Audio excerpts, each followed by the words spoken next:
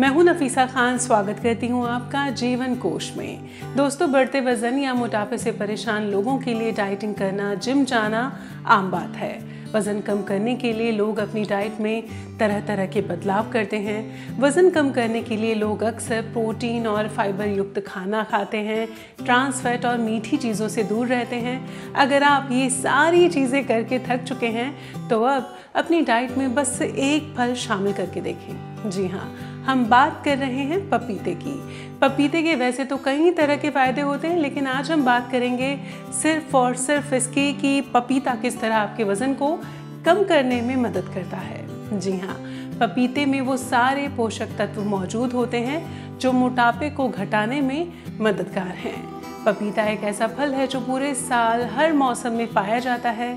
हर दिन पपीता खाने के कई फ़ायदे हैं, पर इसका सबसे बड़ा फ़ायदा है वेट लॉस वज़न घटाने के लिए दिए जाने वाले टिप्स में डाइटिशियन भी अब हर दिन पपीता खाने की सलाह दे रहे हैं। पपीते में कई सारे पोषक तत्व एंटीऑक्सीडेंट ज़रूरी मिनरल्स और कई तरह के विटामिन पाए जाते हैं। पपीता डाइजेशन सही रखने के साथ साथ बॉडी को भी डिटॉक्स करता है। इसे खाने से लीवर से जुड़ी बीमारियाँ दूर होती हैं। जो लोग वज़न बढ़ने की वजह से कैलोरी से परहेज करते हैं, उनके लिए पपीता एक अच्छा ऑप्शन है। पपीता वज़न घटाने के साथ बहुत कम मात्रा में आपको कैलोरी देता है। 100 ग्राम पपीते में 43 से ज़्यादा कैलोरी नहीं पाई जाती। अब आपको बताएँगे कि वज़न को कैसे कम करता है पपीता। अक्सर वज़न कम करने के लिए हमें ऐसी डाइट फॉलो करनी होती है जिसमें फैट और कैलोरी कम हो और जिसमें ढेर सारा फाइबर भी हो। पपीता इन सारे गुणों से भरपूर है। पपीता खाने से भूख कम लगती है, जिससे आपके शरीर में कैलोरी की मात्रा कम होती है और वज़न कम होने लगता है। पपीता शरीर में प्रोटीन की कमी को पूरा करता है। पेट की चर्बी घटाने के लिए प्रोटीन युक्त खाने की ज़रूरत होती है।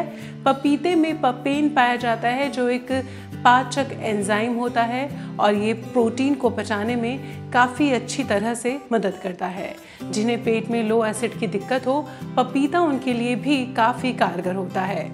अगर आपको इन्फ्लामेशन की दिक्कत है तो आपको वज़न घटाने में दिक्कत आ सकती है। पपीते में पाया जाने वाला एंटीऑक्सीडेंट शरीर में सूजन और जलन की समस्या को दूर करने के साथ पेट की चर्बी भी कम करता है।